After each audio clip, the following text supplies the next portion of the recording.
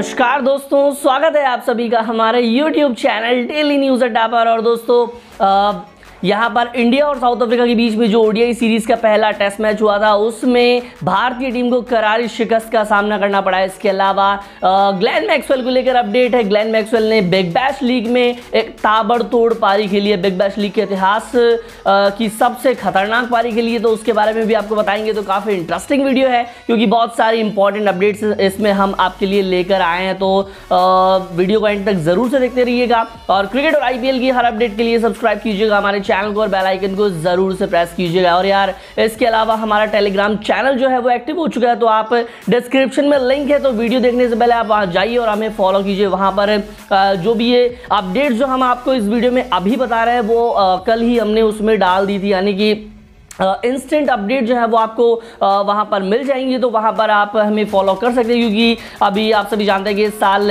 IPL है और उसके बाद में वर्ल्ड कप है तो इसीलिए थोड़ा सा अ, मतलब फॉलो कर लीजिए ताकि आप हर अपडेट से अपडेटेड रह सके। इसके बाद बात करेंगे आज की पहली अपडेट के बारे में। तो आज की पहली अपडेट है काफ़ी गर्मा गर्म अपडेट है। वो अपडेट है टेम्बा बाउमा और विराट कोहली के बीच में होने वाली कन्वर्जेशन को लेकर। दरअसल दोस्तों पहले ओडीआई के दौरान साउथ अफ्रीका पहले बैटिंग कर रही थी, जिसमें उन्होंने एक विकेट जल्दी गवा दिया था, उसके बाद टेम्बा बाउमा आ रहे, आए थे, और मतलब जब वो खेल रहे थे तो एक बॉल कोहली के पास गई और कोहली ने उसका जोरदार गुस्से में थ्रो फेंका सीधा।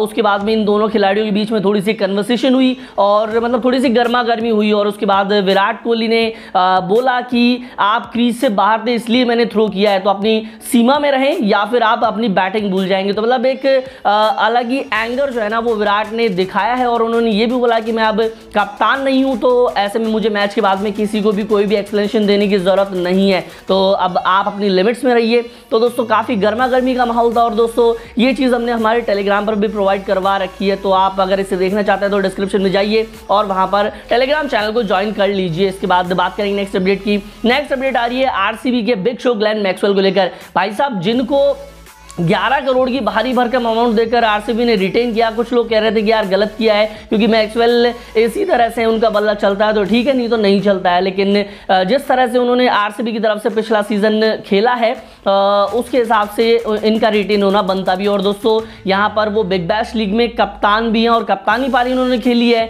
आपको बता दूँ कि अ, केवल 64 बॉल्स में वन एक रन की ताबड़तोड़ पारी इनके बैट चाहिए जिसमें 22 चौके और चार छक्के शामिल है। अ, तो ये काफ़ी अच्छा स्कोर है और आरसीबी के पॉइंट ऑफ़ व्यू से काफ़ी अच्छी चीज़ है क्योंकि बेक्शो अगर फॉर्म में है तो फिर आरसीबी को ज़्यादा दिक्कत आएगी नहीं क्योंकि अब मेगा ऑप्शन है और मेगा ऑप्शन के लिए ज़्यादा टाइम नहीं बचा है तो इनको अपनी स्ट्रैटेजी तैयार करनी होगी और क्योंकि एबी ने भी रिटायरमेंट ले लिया तो फिर यार उसके लिए फिर मैक्सवेल को उनकी जगह लेनी होगी। बात करेंगे नेक्स्ट अपडेट की। नेक्स्ट अपडेट आ रही है दोस्तों, विराट कोहली के लेकर। विराट कोहली ने पहले ओडीआई में सचिन तेंदुलकर का एक और रिकॉर्ड तोड़ दिया है।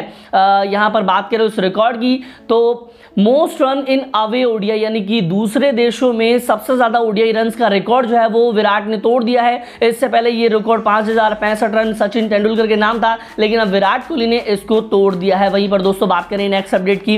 नेक्स्ट अपडेट आ रही है दोस्तों, लखनऊ फ्रेंचाइजी को लेकर। दोस्तों, काफ़ी सारा हुआ बना हुआ था कि यार लखनऊ फ्रेंचाइजी का ऑफिशियल नेम क्या होगा? तो लखनऊ की फ्रेंचाइजी ने बेसिकली ऑफिशियल अनाउंसमेंट तो करी नहीं है, लेकिन थोड़ा सा हिंट दिया है। हिंट ऐसे दिया है कि इन्होंने अपने सोशल मीडिया हैंडल पर जो कि ऑफिशियल लखनऊ आईपीएल टीम के नाम से है उसको चेंज करके Lucknow Super Giants Lucknow Super Giants इसका जो मतलब नेम है वो चेंज कर दिया अपने सोशल मीडिया हैंडल पर। तो हम मानकर चल सकते हैं कि ये मोटा मोटा यही हमें आईपीएल का नाम भी देखने को मिलने वाला है, लखनऊ की फ्रेंचाइजी का। और दोस्तों, ये अपडेट हमने कल ही प्रोवाइड करवा दी थी। तो अगर आप हमारे टेलीग्राम चैनल पर हैं तो आपको वो अपडेट पहले ही मिल चुकी होगी। वहीं पर दोस्तों बात करेंगे नेक्स्ट अपडेट की। लेकिन दोस्तों, उससे पहले मैं आपको बताना चाहूँगा भारत की सबसे बड़ी online gaming platform Reddy Anna के बारे में, जहाँ पर आप क्रिकेट फुटबॉल और 160 प्लस गेम्स खेलकर लाखों जीत सकते हैं। ये 85 प्लस ब्रांचेस पर ऑपरेट होता है और 24 फोर बाई 7 का आपको इसमें विड्रॉल मिलेगा। रजिस्ट्रेशन और डॉक्यूमेंटेशन की कोई भी प्रॉब्लम जो है वो नहीं होगी तो नीचे दिए गए लिंक से अभी इन्हें व्हाट्सएप और टेलीग्राम पर कॉन्टैक्ट करें। नेक्स्ट अपडेट है कि मतलब काफ़ी सारे लोगों के कमेंट आ रहे थे कि यार आ, सभी जो 10 टीमें हैं ना उनके पास में कितना कितना पर्स बैलेंस मौजूद है? आईपीएल 2022 के मेगा ऑप्शन में जाने से पहले। तो उसी के बारे में ये, ये अपडेट है जिसमें दोस्तों सबसे पहले हम बात करेंगे आ, पंजाब किंग्स की। पंजाब किंग्स के पास में सबसे ज़्यादा पर्स बैलेंस जो है ना वो मौजूद है। बहत्तर करोड़ का पर्स इनके पास में मौजूद है। इसके इसके बाद सनराइजर्स हैदराबाद का नाम आता है नंबर दो पर, जिनके पास में 68 करोड़ का पर्स जो है ना, वो मौजूद है। इसके बाद राजस्थान रॉयल्स की टीम आती है 62 करोड़। चौथे पर लखनऊ आती है 60 करोड़। पाँचवें पर आरसीबी आती है 57 करोड़। छठे पर अहमदाबाद आती है 53 करोड़। सातवें पर आती है C S K forty crore. आठवें पर मुंबई 48 नौवे पर के के फोर्टी और दसवें पर आती है दिल्ली कैपिटल्स 47.5 करोड़। स्क्रीन पर आप देख पा रहे होंगे अपनी अपनी टीम का और आप इसका स्क्रीन भी ले सकते हैं, क्योंकि क्योंकि मेगा ऑप्शन के टाइम में हो सकता है कि आप भूल जाएँ तो उसके लिए थोड़ा सा रिमाइंडर होगा। इसके बाद बात करेंगे नेक्स्ट अपडेट की। नेक्स्ट अपडेट आ रही है लखनऊ की टीम की तरफ़ से। दोस्तों, लखनऊ बनी मिनी पंजाब। अब किस तरह से, वो इस तरह से कि इनके जो हेड कोच है ना एंडी फ्लावर वो पंजाब किंग्स के मतलब हम कह सकते हैं कि पूर्व पूर्व कोच रह चुके हैं। इसके अलावा इनके कप्तान के राहुल पूर्व कप्तान है पंजाब के। और जो रवि बिश्नोई है वो भी पंजाब के स्पिनर है तो वो भी इसमें शामिल हुए हैं। तो बेसिकली ये मिनी पंजाबी बन चुकी है।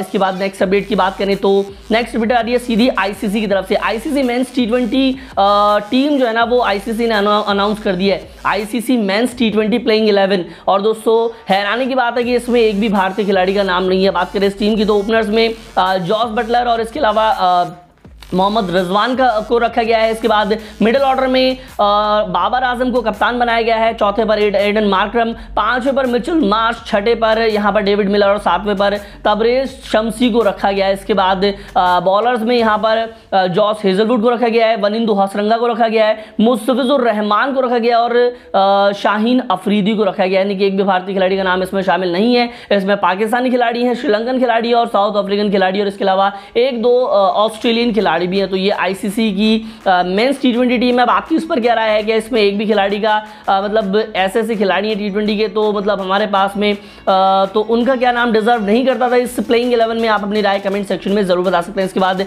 नेक्स्ट अपडेट आ रही है India versus West Indies series को लेकर। दोस्तों, साउथ अफ्रीका सीरीज़ के बाद में सीधा वेस्ट इंडीज सीरीज़ होगी। यानी कि होम सीज़न होगा, वेस्ट इंडीज आएगी भारत में। और दोस्तों जो मैचेस कराए जाने हैं ना, वो यहाँ पर कोलकाता और अहमदाबाद इन दो जगहों पर कराए जाने और इसके लेकर मीटिंग में विचार रखा गया, लेकिन दोस्तों, अभी फाइनल कॉल नहीं ली गई है। विचार चल रहा है कि कोलकाता और अहमदाबाद इन दो शहरों में मतलब जो मैचेस है ना वो कराए जाएँगे। इसके बाद बात करेंगे नेक्स्ट अपडेट की। नेक्स्ट अपडेट आ रही है के राहुल को लेकर। भाई साहब के राहुल ने आते ही अपना जलवा बिखेरना शुरू कर दिया। वो किस वे में? वो इस वे में कि यार पंजाब की कप्तानी करते थे तो मतलब आ, मतलब मैचेस हारती ज़्यादा थी और जीतते कम थे। और वही चीज़ यहाँ पर वनडे में हुई है। यहाँ पर दोस्तों टेस्ट मैच की कप्तानी भी करी थी उन्होंने। उसमें आ, वो वो मैच भी हार गई थी टीम इंडिया और बात करें ओडीआई की तो ओडीआई में इनका पहला मैच था कप्तानी के तौर पर। और इसमें भी टीम इंडिया हार चुकी है। तो यहाँ पर बेसिकली कप्तानी का रिकॉर्ड जो है ना वो के राहुल का कुछ खास अच्छा है नहीं। आ, तो यहाँ पर आते ही उन्होंने जलवा भी खेलना शुरू कर दिया। हालाँकि थोड़ा सा युवा खिलाड़ी है तो थोड़ा सा सीखने की और ज़रूरत है, क्योंकि विराट कोहली ने जो स्टैंडर्ड सेट किए ना कप्तानी के, उनको पार पाना इतना आसान भी नहीं है। हालाँकि दोस्तों, ये थोड़ा सा टेम्प्रेरी कप्तान है और रोहित शर्मा जल्दी वापसी करेंगे और उसके बाद में मतलब उन मतलब रोहित शर्मा का जो विन रिकॉर्ड है ना, वो काफ़ी अच्छा है। तो उसके बाद में ज़रूर टीम थोड़ा अच्छा करेगी ऐसी उम्मीद है। तो दोस्तों, ये थी आज की कुछ इंपॉर्टेंट अपडेट्स और आशा करते हैं आपको हमारी ये वीडियो पसंद आई तो दोस्तों वीडियो को लाइक कीजिए शेयर कीजिए कमेंट कीजिए और टेलीग्राम चैनल को ज़रूर से ज्वाइन कीजिए। एक बार फिर मैं आपको याद दिला रहा हूँ डिस्क्रिप्शन में लिंक है। वहाँ से आप टेलीग्राम चैनल को ज्वाइन कर सकते हैं और इसी के साथ इस वीडियो में फ़िलहाल इतना ही और हम फिर से हाजिर होंगे एक और इंटरेस्टिंग अपडेट के साथ। तब तक के लिए studio and keep watching Daily News Adda thank you